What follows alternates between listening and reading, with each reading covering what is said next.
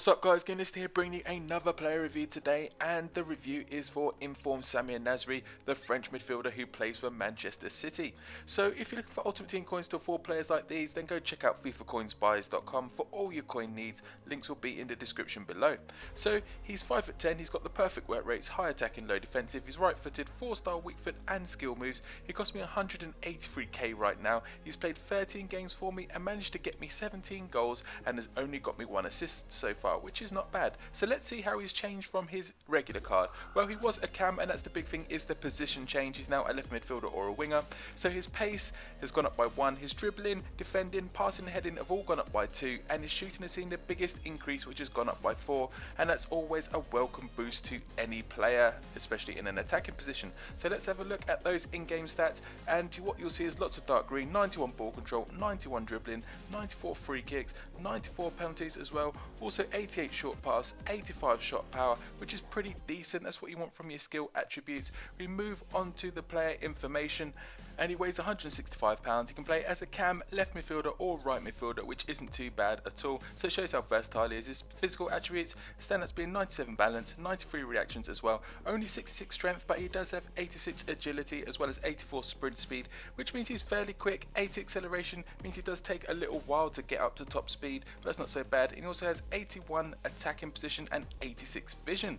So what were my expectations of Samir Nasri's Inform card? Well, they were fairly high seeing he has a hefty price tag on PS3 at the moment and also on Xbox at roughly 180,000 coins and also with those in-game stats, you know, you're going to have high expectations because they are pretty insane looking. However, the one thing you've got to note when you pick up this player is the position change. That is a massive factor on this card because he's now a left-sided player rather than a central one. So he can play as a left mid, left wing or left forward rather than the central player that his regular card is where he can play, you know, anywhere in the middle of the pitch or even up at striker if you're feeling risky.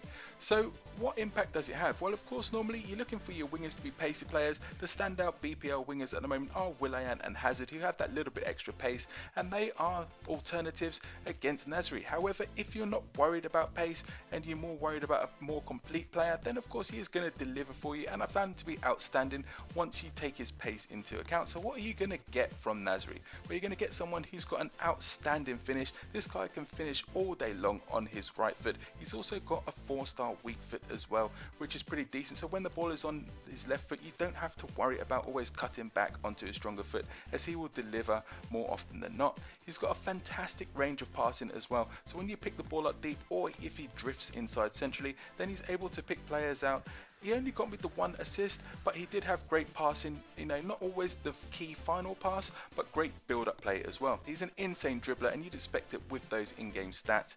You know, his dribbling is absolutely outstanding. It's so easy to take players on, and of course, when he has those four-star skills as well, and that balance and agility, it's so easy to take players on, and you don't really feel the pace that much. It's only when he's chasing the balls over the top when you really notice it. He is a complete player, you know, he's only 85 rated and he is expensive, but it all depends on your style of play. He's probably better suited to a left midfield position rather than further forward due to that pace because you do want pace at the top end of the pitch. And the other thing you have to take into account with this player is his strength at only 66, which does mean that he does get bullied a little bit when he's playing that little bit deeper by those stronger central midfield players. He does have perfect work rates for an attacking player, high attacking, low defensive, which means he makes makes great runs as well. Is he worth the coins? Well, if you're not a pacer, I'd definitely say go pick him up. So let's review overall. He's an ice cool finisher, so clinical in front of goal, can finish, you know, more often than not. He's got a fantastic range of passing as well, able to pick passes out all over the shot. He's got an insane dribbling ability, and he's got fantastic agility and balance as well. He's got four star skills for you skillers out there. He's also got a four star weak foot, so he can finish with his left foot really well, and he's got perfect work rates for an attacker. The only negative things I could find is that he was weak for me, and he's better suited to a central position based on his stats, which is a shame. If he was still as you know a central player, then he would have been a better in form and probably more expensive. But overall, I give him a 9 out of 10. He is a decent player, and if you're not a pace whore, then you'll absolutely enjoy using him. So that's it, guys. I hope you enjoyed this review, and if you did, leave a like below, comment, subscribe, and as always, thanks for watching.